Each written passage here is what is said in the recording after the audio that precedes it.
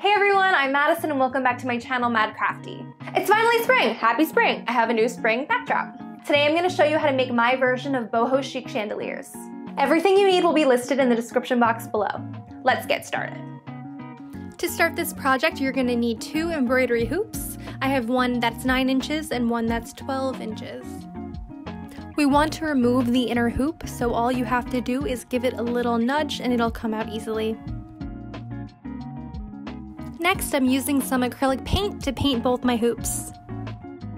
Once they're dry, you're to get out your embroidery thread and start to make the handle for the top. I am combining six different colors to create my rope. You want to cut five 20 inch pieces of these. If you want your handle to be longer, it could be as long as you want. You can make them 30 inches, 40 inches, whatever you want to do.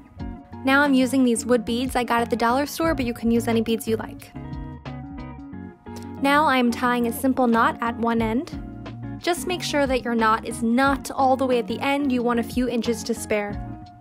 Now I'm using this floral wire to get the beads on easily. Snip off a piece.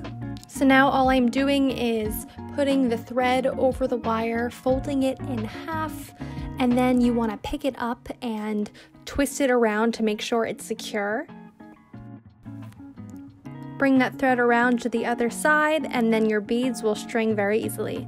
I used the beads and made a pattern for mine, but if you wanted to braid the rope or use different beads or put pom-poms, you can kind of do whatever you want. To take the wire out, all you do is simply slide it out. Now you want to attach all five of these to your hoop in an even distance apart. I used double knots to attach mine. Always make sure you're happy with it before you continue. Now I am gathering all five strands and making another simple knot at the top. Now I decided that I wanted one more giant wooden bead at the top, so I'm kind of twisting my embroidery thread around so that that big bead will slide in easily.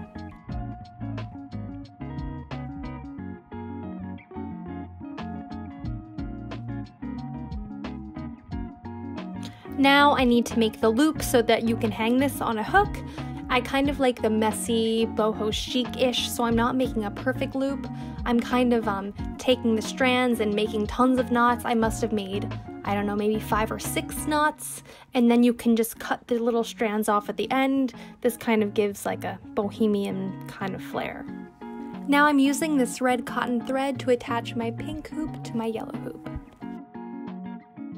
The size of your thread all depends on how long you want your top hoop to be away from your bottom hoop, so decide that before you cut. I cut 12 inch strands for mine. You don't need to use this loop method that I'm doing. If you want to just tie two double knots, that's fine too.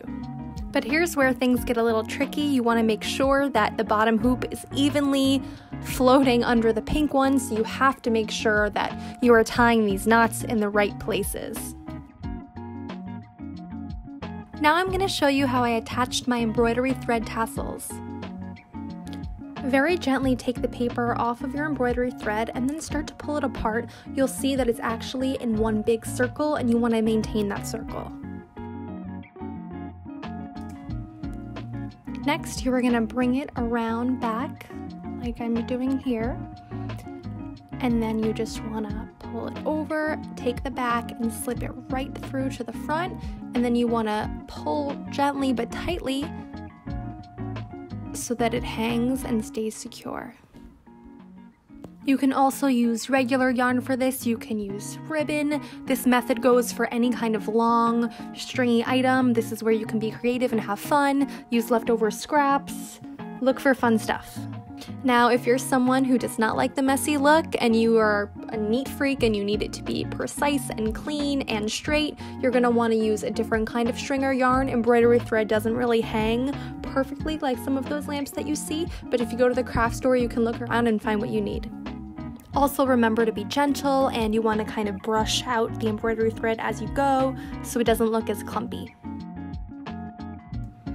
Now you see you have loops in the bottom and you want to cut those off. So all you have to do is take your fabric scissors or regular scissors if you don't have and kind of pinch the middle of your tassel and then make sure you're making an even cut on the bottom. Now you might want help for this next step, but you want to trim around your entire first top loop.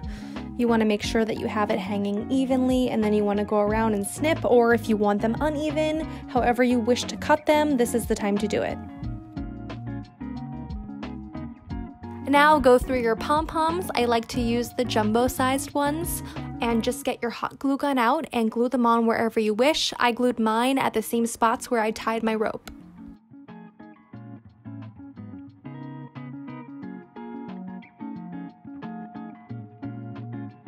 Here's a quick tip for those of you who don't like to use measuring tape or may not have any.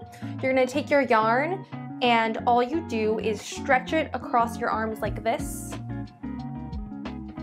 One, and if you wanna go again, two, as many times as you want. Three, let's say we're gonna go four times, right? Then you take the end that you started with attach it to the place you just stopped, snip it off,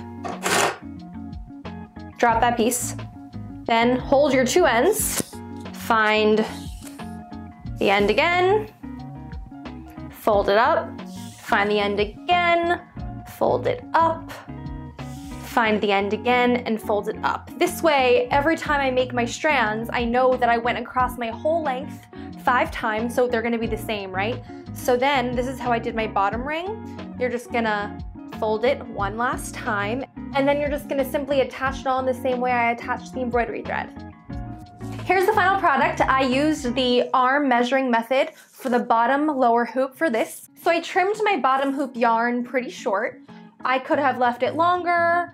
It kind of doesn't matter. It's whatever you want to do, but I liked it a little fringy. So I also made the second one. The inspiration behind this one comes from a movie that I was honored to get to dance in. It's called The Irishman on Netflix. We had custom made gorgeous dance costumes and this kind of was basically totally inspired by those as you can see. This one on the other hand just kind of screams Madison.